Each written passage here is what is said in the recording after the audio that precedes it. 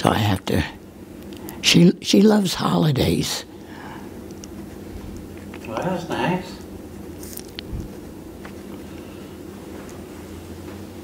So we're gonna cover, I think we're gonna go cover the clam digging and the Jones Beach days. All right. Lakeshore Drive, is it?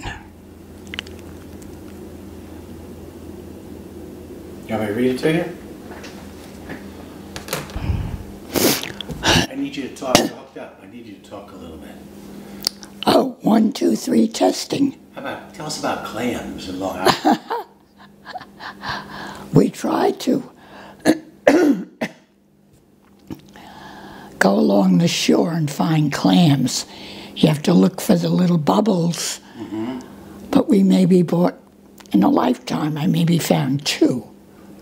So that was a big bust. Two clams? Two In a lifetime? Yeah.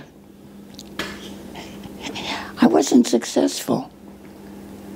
But uh, the boys I went with, they found some. They were more enthusiastic, I think.